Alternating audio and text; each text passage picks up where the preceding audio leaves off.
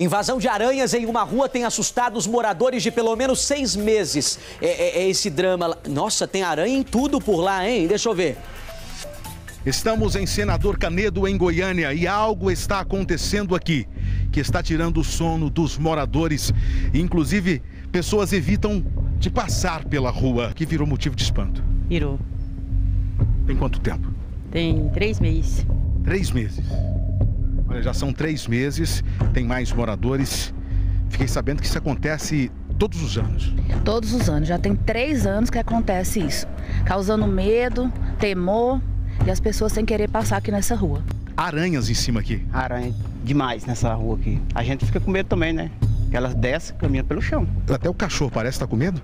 Todo mundo com medo. Os cachorros com medo, elas descem, aparecem dentro de casa.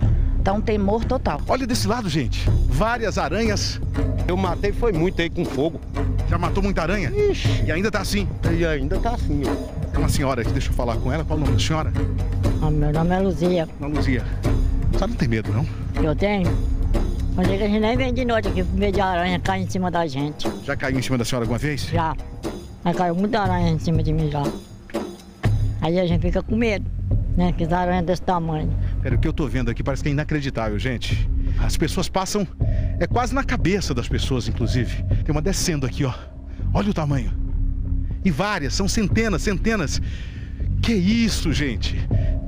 Desse outro lado aqui, até na luminária, até lá, em tudo, tudo tá repleto. Uma imagem impressionante aqui na rua Fernão Dias, setor Monte Azul. Que isso, gente? Me fala uma coisa, meu amigo. Mas como é que isso começou aqui? Isso começou já tem uns, uns três meses já.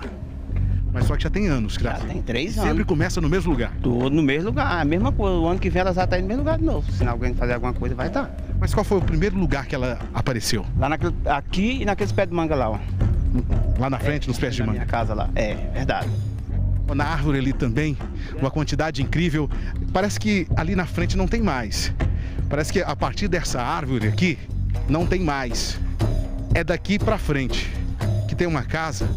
Vou falar com o pessoal aqui da casa. Vocês parecem que tiveram sorte. A aranha não, não veio para cá. Veio. Aqui não, não apareceu não, mas só nessa árvore aí, né? Essa árvore tem muita. Às vezes aqui aparece muita, aí a gente pega e mata, tá? Mas tem muita aranha, muito mesmo. Tomar... Na grade parece que estão querendo vir para cá. É, tem que jogar veneno, porque não, senão a gente não suporta isso aí. É muito, é muita aranha. Eu cuido de crianças, as crianças têm medo. Já encontrei dentro de casa, é um pânico total. Solução já para isso? Acabar com as aranhas. Que tá muito perigoso.